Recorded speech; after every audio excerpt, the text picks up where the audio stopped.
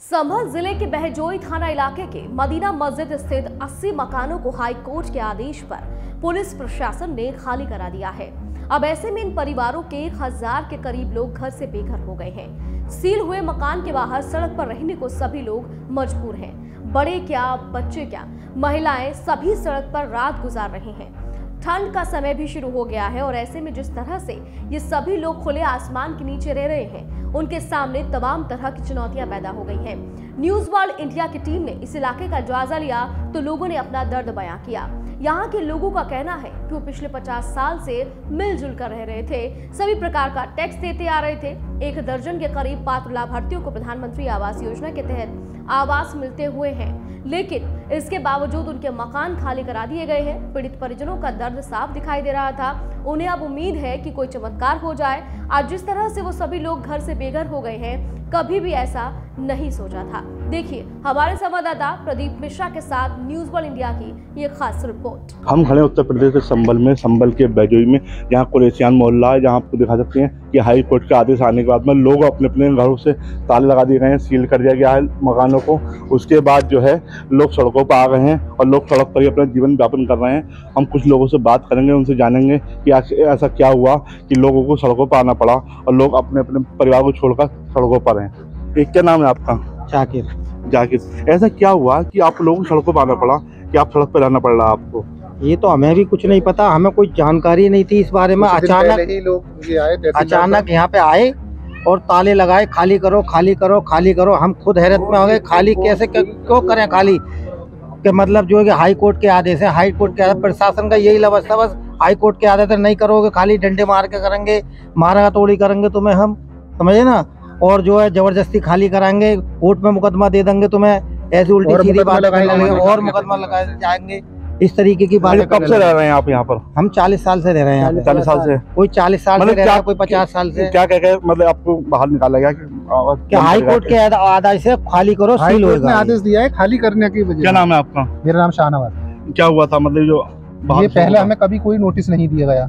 यहाँ से हम हाउ टैक्स वाटर टैक्स यहाँ तक के बत्ती के कनेक्शन हमारे बाप से लेके दादा तक पुराने टाइम से रह रहे हैं यहाँ पे। चालीस से कम से कम पचास साल तक रह रहे हैं। और एक एक उसमें रह रहे हैं। बाकी यहाँ पे आवास योजना भी दी गई थी, सड़कों का निर्माण भी किया।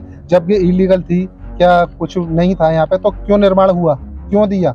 इसमें भी इन लोगों का हाथ है। और फिर उसके बाद हमसे डायरेक्ट यही गए बस हाई कोर्ट के आदेश हैं और इसे आपको खाली करना पड़ेगा। और नहीं खाली करोगे तो तुम्हारे ऊपर मुकदमा लगाया जाएगा, कानूनी कार्रवाई करी जाएगी। उसके साथ डर के वजह से बाहर पे सड़कों पे आ गए और कोई सहारा नहीं है। कहाँ जाएँ कहाँ आए छोटे छोटे बच्चे हैं बच्चों की पढ़ाई खराब हो रही है। बच्चियाँ सरकार गवर्नमेंट कहती है बेटी बचाओ बेटी पढ़ाओ। तो बेटी बचाएँगे या बेटी पढ़ाएँगे कहाँ से? सड़कों पर पढ़ाएँगे? बताइए। आदमी जानवर को भी गौशालाएँ बनाई जा रही हैं लेकिन हमें हज़ार दो हज़ार परिवार हैं यहाँ के। कहाँ रह रहे हैं? वो गौ जानवरों से बदतर हालत हुई जा रही है। गवर्नमेंट शौचालय बना रही है। सड़क पे गंदगी ना हो तो गंदगी से ज़्यादा हम यहाँ गंदगी में पड़े हुए हैं। कहाँ जाए? क्या करें? बताइए आप। गरीब जनता है यहाँ पर। तो कब से हैं आप यहाँ पर? ये दिन से। छह दिन से। सोलह तारीख को खाली कराया गया सोलह तारीख को नहीं रह कब से रहे हैं तो हमसे हम रह रहे थे हमारे बाप भी रह रहे थे दादा भी रह रहे थे। चालीस से पचास साल तक हो गए सन इकहत्तर से रह रहे हैं। कोई जानकारी दी गई आपके मकान खाली करा अभी कोई जानकारी नहीं। कोई जानकारी बस एक महीने पहले ये अभी पंद्रह दिन पहले वो आए थे क्या तुम खाली करो। लिक्विडेटर है। क्या, क्या नाम है आपका? शोएब नाम है मेरा। शोएब। लिक्विडेटर है। यहाँ ऐसी पब्लिक है जिसमें से आप लाखों से पूछेंगे ना जितने भी लोग हैं उनमें से कोई भी नहीं बता पाएगा अगर लिक्विडेटर का मामला क्या है कौन होता है लिक्विडेटर इन्हें ये जानकारी नहीं है। पार्टी बनाया कभी इन्हें? ये लोग यहाँ पर रह रहे थे। कभी पार्टी बनाया गया इन्हें?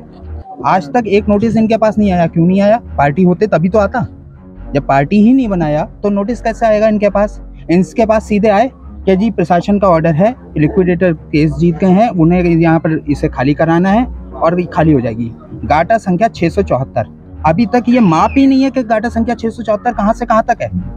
आप यूपी भूनक्षा की वेबसाइट उठाइए, उसमें जाके रिकॉर्ड ही नहीं है गाटा संख्या छः सौ चौहत्तर का।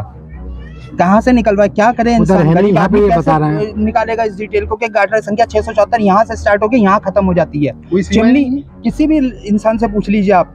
चिमनी कहाँ बैठ थी यहाँ से? बाउंड्री के अंदर। थी। यहाँ पर क्या था? यहाँ कोई भी बात नहीं थी। बाउंड्री से बाहर की चीज़ को आपने उसमें गाटर संख्या छह सौ चौहत्तर में मान लिया। ठीक है गाटर संख्या छह सौ चौहत्तर है तो है। लेकिन ये मसला गाटा संख्या छह सौ चौहत्तर का नहीं है ना? ये गाटा संख्या छह सौ पिछहत्तर के अंदर आता है। किसने गाटा संख्या छह सौ चौहत्तर को बेच दिया? बड़ी बिल्डिंग है वहाँ पर बनी हुई उनपे तो कोई हाथ नहीं डालेगा। उन पे कोई हाथ नहीं डालेगा क्योंकि वहाँ बहुत अच्छी अच्छी बड़ी बिल्डिंगें बनी हुई है। माफिया ने खरीद लिया वो तो। फिर?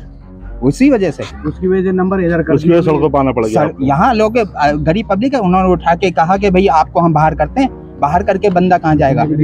सड़कों पे बैठेगा ना उसके पास दूसरा घर तो है नहीं लाखों पैसे है नहीं जो खाली करके दे देगा। तो रोज का खाने रोज का क्या नाम है आपका? ना रियाज हाजी रियाज। रियाज। आप यहाँ कब से रह रहे हैं? यहाँ रह रहे हैं साहब करीब चालीस पचास साल हो गए। पचास साल से। आज तक कभी नोटिस आया? ना ना कोई नोटिस ना कोई खबर ना खाली अब अभी आठ पंद्रह दिन से ये आ गए साहब खाली करो बस। उसके बाद आए जिन्होंने हट क्या नोटिस चिपकाए और खाली कर दिया। पुलिस आ गई चारों तरफ़ घेर लिया। गरीब आदमी क्या कर रहे हैं? कि क्या क्या हो गया जी? और परिवार कहाँ है आपका? सड़क है, सड़क पे ही है सब है? ये हम आपको दिखाते हैं इनके परिवार जो परिवार रह रहे हैं यहाँ पर। जो परिवार आज सड़कों पर है लगातार सड़कों पर रह रहे हैं ये। और ये देख सकते हैं आप नालियाँ हैं नालियाँ बंद पड़ी हैं ये सब। है? और यहाँ लोग जो है सड़कों पर अपना जीवन यापन कर रहे हैं। हम कुछ लोगों से महिलाओं से बात करने की कोशिश करेंगे। अरे अम्मा क्या नाम है आपका? कामनी बेगम हैं? कामनी बेगम कामनी मैडम कब से रह रही थी आप यहाँ? अभी बहुत साल हो गए हमें रहते हुए हमने अब आके घर बनवाया हम दौड़े पड़े हम तो हमें गड्ढों में पड़े डोले हम अब बनवाया तो तुमने ऐसा हल करवा दिया तो बाहर ही रह रही है सड़क पर ही? सारा कोई पड़े हम कोई व्यवस्था प्रशासन की तरफ़ से नहीं करी गई आप लोगों के लिए? कोई पता भी नहीं आती कि ऐसा हाल हो। चेयरमैन तो देखने आया ना अभी अभी तक ये वो परिवार है जो दिखा सकते हैं हम दूर तक मकान है। इनके मकानों पर सील लगा दी गई है। लगातार दिखा सकते हैं, आपको सील लगी है और ये परिवार आज सड़कों पर है। इनके सामान सामान इनका सड़कों पर है। और दिखा सकते हैं, कोई सुनने वाला अधिकारी नहीं है। और ये कॉलोनी का घर है। अब देखिए, कॉलोनी है ये? प्रधानमंत्री आवास योजना के शहरी नगर पालिका बैजोई के अफरोज के हम। सही है? ये आपका नाम कॉलोनी है हाँ? मेरा नाम कॉलोनी है मेरा नाम है? मेरा नाम अफरोज है क्या नाम है? बहुत कुछ क्या बोले कॉलोनी क्यों दी थी तुमने? जब ये बताओ कि हमारी जगह नहीं थी तो आपने कॉलोनी क्यों दी? मतलब जाँच नहीं हुई हैं? न, ना कोई जाँच नहीं नहीं कोई आया ना ही कहा ना कोई नोटिस दिया ना कोई चीज़ दी। और आन के पुलिस ला के और घर से निकलो घर से निकलो घर से निकलो ये हाल कर दिया। हमारे सर में बहुत जास्ती करी गई बहुत जास्ती करी गई है। क्या नाम है ताले ज़बरदस्ती निकाल निकाल के डाले गए। ऐसे कितने मकान हैं जो प्रधानमंत्री आवास मिले हैं? यहाँ पिचासी घर है सब। मेरा नाम मेरा नाम नसीम। क्या हुआ? ये हुआ ये आन के आए कि मकान खाली करो। एकदम मकान की निकालना निकालो, फेंको निकालो, फेंको। सब बोर्डों ने निकाला, मेरी लड़की बेहोश हो गई है बिल्कुल खत्म हो गई इसका हार्ट हो जाता और सिर पर दिमाग पे हो गई, सिर पीट रही है एक लड़की गेट रोक लिया, लड़की हुई पैदा तो लड़की ने गेट पकड़ लिया क्या पर लंगू, गेट मारा वो लड़की पीछे गिर गई। मैं उसके दूर बैठी रही, बहुत परेशान रही, घंटे से मुझे ये न मालूम क्या हो रहा है। बाहर वालों ने सामान निकाला के निकालो, इस सामान को फेंको, इनका सामान। सारा, बहुत परेशानी, घर की तोड़ा सारी सब नाश कर दिया मेरे घर का, मैं बहुत परेशान हूँ। सब मेरे घर का तोड़ फोड़ करके करके डाल दिया, मेरी बच्ची दिखाऊँगा तो मैं अभी हाल। इतनी सारी बच्ची है, जब भी से रही दिलीप के यहाँ, और खून चेक सब हो पे मेरी बच्ची का। हम रोडों पर जमा लड़कियाँ हमारी तो। बहुत बेचैनी दे दी हमारे लिए। हमें पैंतालीस साल हुआ, चालीस साल से ऊपर हुआ, मेरे लिए शुरू में रहने वाली हूँ मैं, शुरू की। और चेयरमैन साहब आए तो टंकियाँ भी काट रहे। तो लड़की बोली, क्यों काट रहे हैं? हमें परेशानी दे रही, कुछ नहीं होगा। सारा मुसलमान निकाला जाएगा यहाँ से। हटो पल्लंगू मैंने चेयरमैन साहब ऐसा क्यों सोच रहे तुम्हें मुसलमानों ने चेयरमैन बना दिया। तुम बच्चियों को कुआरी बच्चियों को लड़कियों को निकालोगे तो हम कहाँ रहेंगे? जब से ना सोचा तुमने अब हमारे साथ में ऐसा बुरा सोच रहे कि चेयरमैन साहब अच्छी बात नहीं है कि बहुत गलत बात है ऐसे ऐसे बहुत एक एक टाइम रोटी ना मार रही मिल रही। बच्चा एक कमाने वाला बहुत परेशान एक लड़की हमारी जगह बैठ गई तो रान ले रही इसमें चंदोजी भी आई कोई लड़की हमारी हम बहुत क्या करें अब क्या मांग है आपकी? आपकी मांग के हमारे मकान इससे में हमें हमें मुसलमान भाइयों की मकान मिलने चाहिए हमें। मुसलमान भाइयों के अल्लाह के राय पे भीख दे दो, भगवान अल्लाह एक है। हमारे लिए भीख दे दो, बस हम भीख मांगना चाह रहे हैं मकानों की। हमारे लिए मकान चाहिए और कुछ ना चाहिए हमारे लिए बस।